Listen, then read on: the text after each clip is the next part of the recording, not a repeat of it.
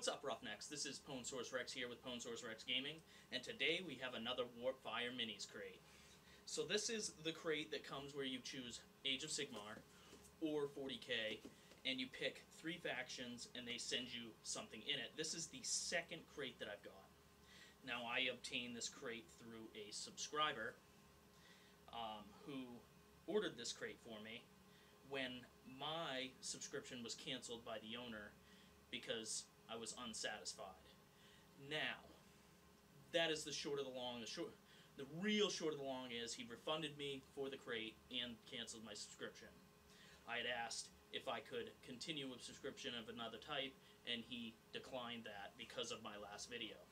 So my subscriber, my loyal subscriber who got me this box, um, provided it for me today, and we're going to open it up because we have not come to the determination if the Warpfire Minis uh, monthly subscription, where you pay $25 for this and get $40 worth of Warhammer gear or Games Workshop gear, is worth it.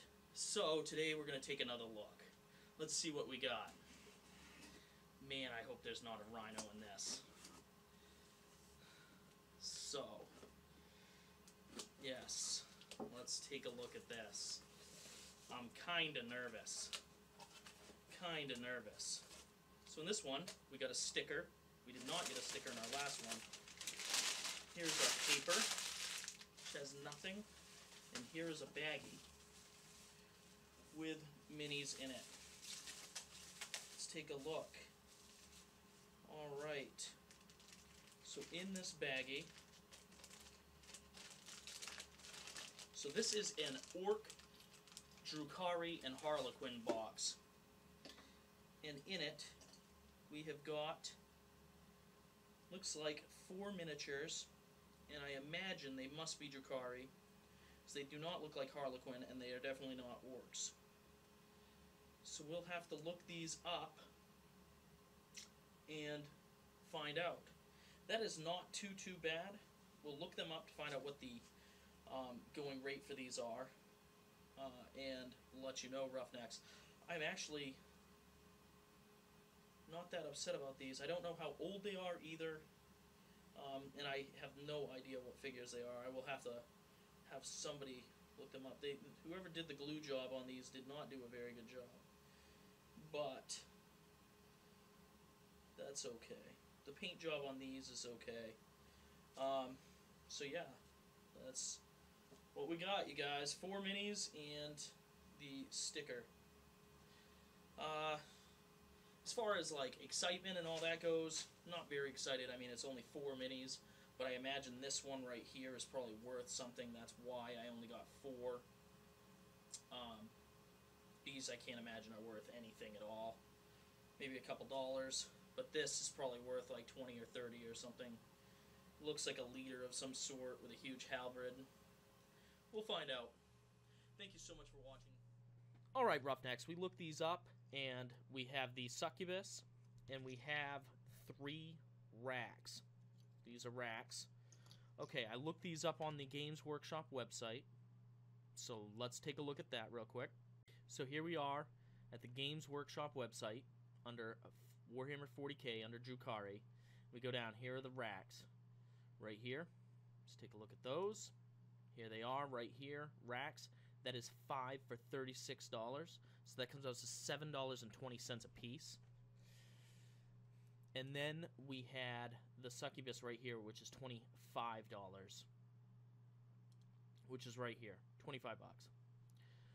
So, when you add all that up, three of the uh, Wracks come out to 2160 and plus 25 equals $46.60. So we got 40 $46.60 worth of minis in that crate, and I think that's a good deal. So if I played Drukhari, this would be a huge deal. I mean, this is this is a decent box. Um, I mean, this mini alone was worth what my subscriber paid for this. Um, I don't want to reveal that subscriber's name in case we order boxes in the future. Um, the owner did cancel my box, uh, and I don't want him to cancel my subscribers.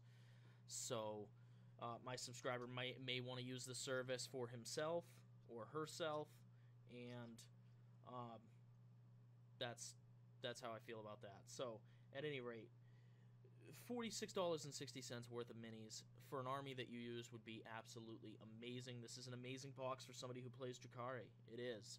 So the service would definitely be worth it. I chose Drukhari because they look like they're difficult to paint. So I I will enjoy painting these. I know that some are already sort of painted a little bit, but I'll probably just paint over that and change it to my own scheme or uh, whatnot because my main armies are the Orks and the Adeptus Sororitas, which I'm actually thinking right now about making my main army Adeptus Sororitas because I've only got the starting collection of the Orks. Let me know what you think about that in the comments below.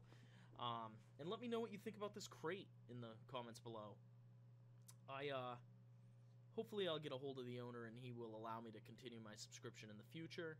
Uh, if not, well, I'll save 25 bucks a month, right? So, anyway, make sure to take a second to subscribe. I appreciate every single one of you Roughnecks. And uh, if you want to chat, I'm on Discord, I'm on Twitter. If you want to leave a comment, comments below, I will definitely get back to you. And, uh, you know, check out the merch store, check out Patreon. We now have our first patron, which is Dano. He is, uh, that is absolutely amazing. I am so glad that he's supporting me in that way. I appreciate him, and uh, hopefully the community appreciates him as well. He is a great asset to this channel, and I'm going to start making content over there for patrons uh, like Dano. So, at any rate, hopefully, if I don't see you in the comments below, I'll see you in the next video.